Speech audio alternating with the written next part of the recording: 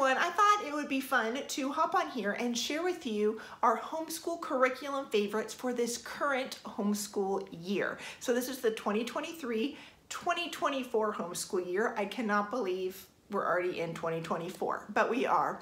Um, I have seven kids, two of which I have already graduated, but I have five still at home, and I asked each of them what their favorite homeschool curriculum was. And um, so I'm gonna share that with you, but I also am gonna share what my favorite curriculum or course was for each of my kids as well. And as you can probably guess, their favorites for themselves were more based on their interests and, you know, uh, abilities and, and just things that they enjoy. And my favorites for them, well, they were more based on what um, courses I thought really challenged them or grew them or matured them um, this year. So um, let me tell you the grades of my kids. I have two that are in high school, so a ninth grader and an 11th grader. I have one in middle school, which is, uh, she's in seventh grade, and then two in elementary school, so a second grader and a fourth grader. So we'll jump in and start with my youngest and then work our way up to high school. All right, we are gonna start with my second grader. I got them all written down here in my notes so I don't forget what all my kids' favorites were. But my second grader's favorite course this year was Heritage Studies, and that's from BJU Press, and we do their video lessons, so he gets um, online into the homeschool hub that they have, and um, does the course through there. He watches some instruction um, from another teacher online, and then he has a textbook and a workbook that he works through. He said he loves the course. He said it's really interesting. He loves that the videos are shorter, which of course, second grade boy enjoys the shorter lessons. And he also really appreciates that the teacher reads the textbook to him. So instead of him having to read the textbook himself or having to ask me to read it for him, um, in Heritage Studies 2 from BJU Press, um, the video lessons, the teacher reads the textbook to him, reads the assignment to him. So he really enjoys that. He's getting a lot out of it. Um, he's just loving that history course. So when it comes to what my favorite was for him, that was um, the BJU Press English 2 um, video lessons. And I did a review and a whole video on uh, BJU Press English 2, so I will try to link that down below in the description. But I just loved that course for him this year. It was a very gentle introduction to grammar and writing. And so um, I just felt like it was just, a, like I said, a good introduction and he enjoyed it and it's just a great, it's a great curriculum. So that was my favorite for him. Now, my fourth grader had a hard time picking his favorite, and that's because he really has two favorites. So we're just gonna let him let him pick two. And that was the BJU Press Heritage Studies course for fourth grade and the BJU Press a science course for fourth grade. Again, my kids really enjoy the BJU Press video lessons. And I think part of the reason for that is that um, it is another person that is um, teaching them and instructing them besides hearing you know my voice all day long but also it's teachers who love love history love science and are teaching it with enthusiasm which i have to be honest sometimes I lack because every subject is not my favorite subject. And so it's great that my kids can get some instruction from teachers who love the subjects that they're teaching about and are excited about it. So he loved the BJU Press, Heritage Studies 4, and Science 4. My favorite for, uh, for my fourth grader was um, the BJU Press reading curriculum. And even though he's in fourth grade, he is doing reading three that just fit where he's at a little bit better. And I'm really loving that course for him. Again, it just covers uh, reading comprehension and how to comprehend what he's reading. Um, and also just different aspects of literature. And I did a review of that as well, so I will link that down in the description so I don't have to go into all that, but that was my favorite for him. All right, we're moving on to middle school, and this is my seventh grader. And I was actually very surprised when my seventh grader told me what her favorite course was this year. And it's actually the BJU Press life science course. And again we're doing it with video lessons. And she she said she just loves it. She enjoys the video instruction. She enjoys the textbook. She's learning a lot. So i didn't think that that would be her favorite because science isn't necessarily her favorite topic. Um, but she's loved that's her favorite course. So um, I again love that there are instructors and teachers who are teaching her something that they love that might not be a topic and subject that I, you know, absolutely love. So she was, she enjoyed the BJU Press um, Life Science. My favorite course for her was actually the BJU Press um, Bible course for seventh grade. I think it's, um, I think it was for seventh grade. She's taken it in seventh grade, but it's the story of the Old Testament. And it's a newer Bible course that BJU Press has put out.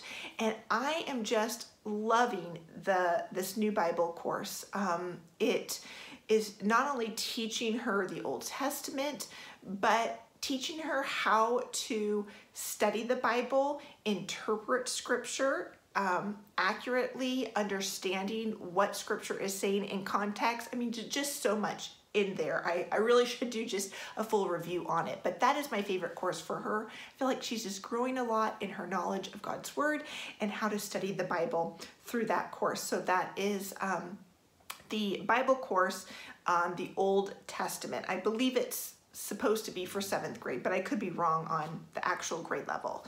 Um, but that's my favorite course for her. Now we're jumping into high school and we'll start with my ninth grader. My ninth grader's favorite curriculum this year, which was not a surprise to me at all, was his um, Exploring World Geography course from Notgrass History. He has really enjoyed the Notgrass History curriculum over the years and he's definitely enjoying and learning a lot from the geography course that he is taking from Notgrass. So that is a favorite for him. My favorite for him is actually a curriculum from Master Books and it is their Introduction to Logic course. And I have done a review of this course as well. This is the third child that I have taken through this course and I also taught it in a co-op setting. So I really love this Introduction to Logic course from Master Books. It's um, a great introduction to thinking logically and critically and being able to spot the fallacies um, in someone's argument uh, when you are having a discussion with them and being able to point out that argument in a loving, Christ honoring way and um, then defend your um, your belief or your stance. So um, that is my favorite for him it's been a great course and I just love seeing my kids grow in um, their critical thinking and apologetics. And yeah, so introduction to logic. Last but not least is my 11th grader. And I don't think I even had to ask what her favorite course was, but I did and I guessed right. It is an art course that she is taking from Master Books Academy. So this is not um, a textbook. There's no textbook for this course, so you're not going to find it on the Master Books website. It's actually in their Master Books Academy of video courses.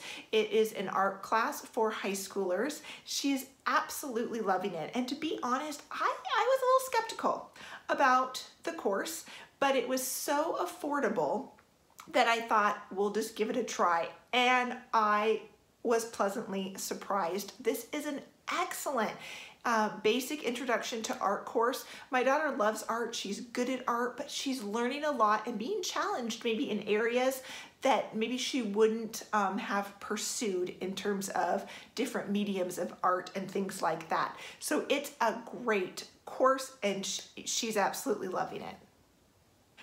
My favorite course for my 11th grader is actually the Bible uh, course that I put together for her this year. And so uh, what that consisted of was her reading uh, Fundamentals of the Faith, and it is a workbook that just works through some of the very fundamental doctrines of the Christian faith. And then I had her read four different books. And one of them was Changed into His Image by Jim Berg, which is excellent. It is a great book for adults to read. It is going to change uh, your walk with the Lord. It is encouraging and convicting all at the same time with some very, very practical um, tips and helps for how to walk um, a life worthy of the Lord and, and how to walk faithfully in, the Lord. So that is a great book and that's just a book I wanted um, my teens to read before they left our home. So changed into his image. I also had her read Women of the Word by Jen Wilkin. Um, that's just a great uh, introduction to how to study the Bible for yourself. Um, I also had her read When Words Matter Most. And this is another excellent book that I encourage all women to read. If you want to know how to speak truth into your children's life, your husband's life, your friend's life, coworkers, people at church. You want to encourage them, but you want that encouragement to come from scripture and the truth of God's word. When words matter most is a must read. It's very encouraging, very practical. Um, just, it's a great read. And I had the authors of that book on my podcast and they talked about how we can use our words to encourage our kids, especially as homeschool moms. So I'll leave a link to that episode down below uh, if you want to check that out. And then finally, um, for the fourth book that I was going to have my daughter read for this kind of Bible course that I put together for her, I just asked her to read a biography, a Christian biography of her choice. She actually picked um, Ann Judson, a missionary from Burma and um, really enjoyed that book.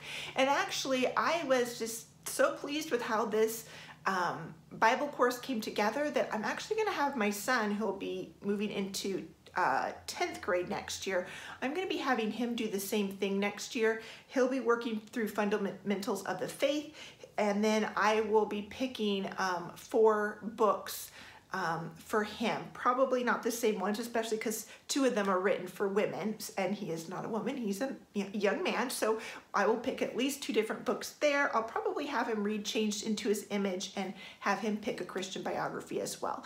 But um, I've just really been happy with um, this Bible course and just the way that it has changed and grown um, my 11th grader this year. And this is actually uh, the Fundamentals of the Faith workbook is something that I had um, another daughter who is already out of the house work through as well. And um, I've gone through it several times with other ladies. It's just a great foundational uh, workbook to work through. So those are our favorites for this current school year.